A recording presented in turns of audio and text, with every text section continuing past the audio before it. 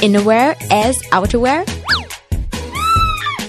Tacky or just plain common sense to keeping your cool in a sunny island like Singapore? This trend has been around for ages. Hot in the 80s thanks to pop icon Madonna, who keeps bringing the look back over and over and over again. Women are now daring to bare more and more, and maybe we're seeing Lady Gaga wrestling with Madonna on the Saturday Night Live sofa. Confirmation is just in. Yes, innerwear as outerwear is definitely in again.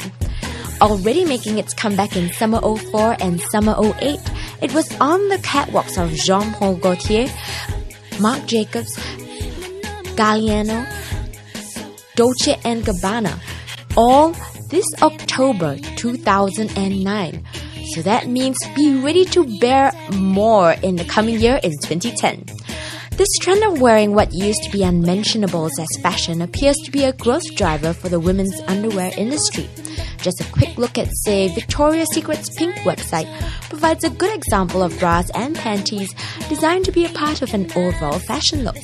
And at the end of October at the Triumph Boutique at Ion Orchard, we saw in Singapore the lingerie store trying to get ladies to reveal a little more with their newly launched line of visible lingerie, underwear that is made to be seen.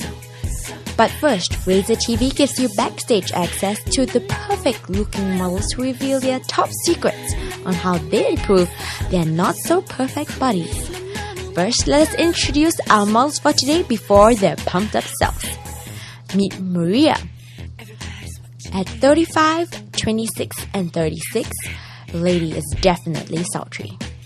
Ghana looks like an Icelandic princess with a blonde hair, and she stands at 34.5, 26, 36.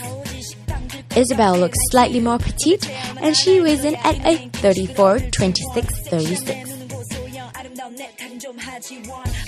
Katia is a svelte mother of one at 34.5, 26, and 37. And Anya, very petite, is 34, 26, and 36.